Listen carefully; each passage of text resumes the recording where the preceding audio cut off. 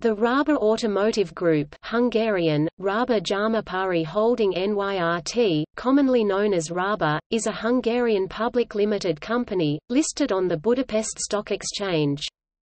Raba engineers, manufactures and customizes automotive components, specialty vehicles and axles for commercial vehicles, agri-machinery and earth movers.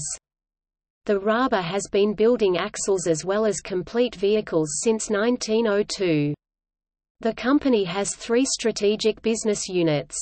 The company is headquartered in Győr, employing more than 2,000 people.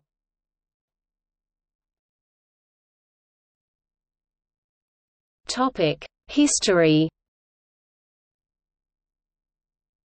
The company was founded by local investor groups in Győr in 1896. In 1899, the Raba had started to export to foreign countries, it supplied railway passenger carriages to Egypt, the East Indies, Southern Africa, city tramcars to Amsterdam and Antwerp. The carriages of the London Underground Railway were constructed and manufactured in the Raba Company.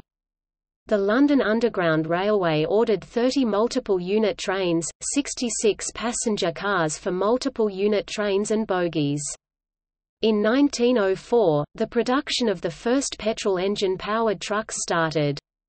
In 1914, the company started to produce its first passenger automobiles, the Raba Alpha. The steward's office ordered a special Raba Grand for the personal use of Emperor Charles I of Austria. Raba's trucks originally used cabins supplied by West German MAN, but from 1980 on DAF's F241 cabin was used. A few Roman cabs of MAN origins were also supplied from Romania in return for engines.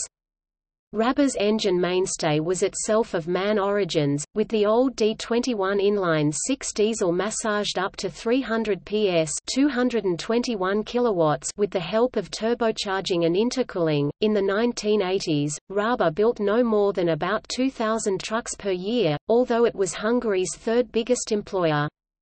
Being an important provider to Hungarocamion, a publicly operated international trucking firm, helped raise their international profile.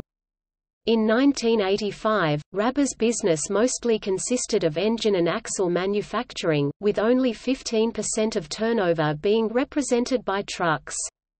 Of these trucks, however, nearly 90% were exported, with the lion's share going to Yugoslavia. In 1986, Raba introduced a more powerful 370 PS 272 kilowatts diesel engine D11TLL in order to help their trucks compete internationally and to meet Hungarocamion's needs. The new engine range was loosely based on the earlier MAN units, but were now of 11.05 liters, and were developed together with the List Institute of Graz, Austria.